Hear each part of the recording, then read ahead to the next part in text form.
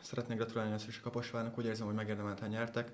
Az első perctől fogva sokkal agresszívabbak, agresszívabbak voltak. A legrosszabb ebben az egészben az, hogy, hogy amire megkért minket a, az edző, abból a pályán semmit nem tudtunk megvalósítani. Készülnünk kell a következő mérkőzésre, ez, ez ma kevés volt, és sokkal agresszívabbnak kell lennünk, hogyha, hogyha komoly sikereket szeretnénk elérni a szezonban.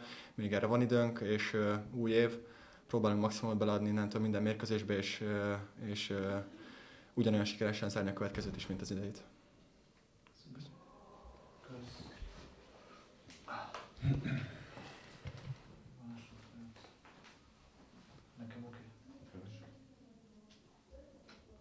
Hát az első negyedben sikerült a Kaposvárnak egy kicsit elhúzni, aztán úgy nézett ki, hogy semmi nem működött a körmennek.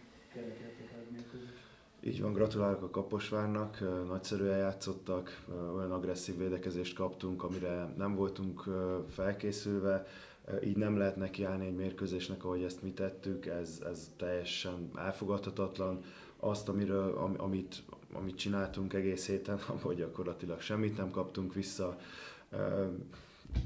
Az a baj, hogy ez már nem először fordul elő a szezonban, és, és eddig mindig tudtunk változtatni, remélem, hogy, hogy ez, ez most is fog sikerülni.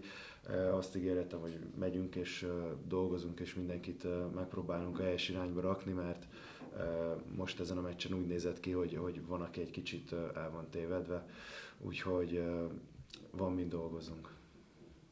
Köszönjük szépen. Köszönöm.